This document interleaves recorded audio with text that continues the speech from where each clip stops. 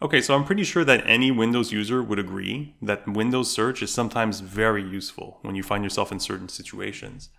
However, what I'm here to tell you today is that the search box itself is fairly useless as it appears in the taskbar. So you see right here how it says search? It's actually meant to get your attention to know that, okay, this is where I can run a search. So for new users, it's actually pretty good.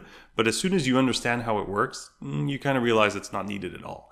Here's why. If I go down here and type notepad, for example, then I'm searching for notepad. That's great. And I see my text down here, all good.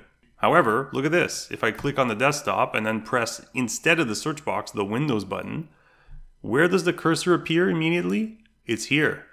All I did is I left click the start button and now it's up, the cursor's up here, which means I can just start typing and the search happens regardless. I don't see my text down here, but I see it up there and I'm getting the same result up here. So hey, it works, cool. Now let's take it a step further. Do I even need to press that button? when I can just press the Windows button on the keyboard.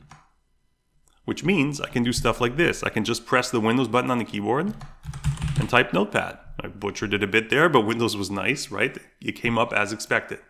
One thing that I forgot to mention, you can actually press enter at any point while you're searching and it's going to launch the first result. So if the first result is an app, like in this case Notepad, it's going to launch Notepad. It's pretty powerful. Once you realize the Windows button does it, well, why do you even need the search box down here? Personally, I find it's a waste of space. I know I don't need it. So to hide it, here's what you got to do. So you can simply move the mouse to the taskbar, right click, say taskbar settings, and then where it says search under taskbar items, you instead of search box, change this to hide. And then you can just close this.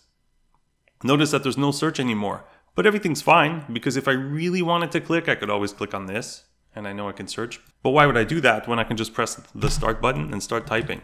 Once you've got this habit, you'll notice it works real well.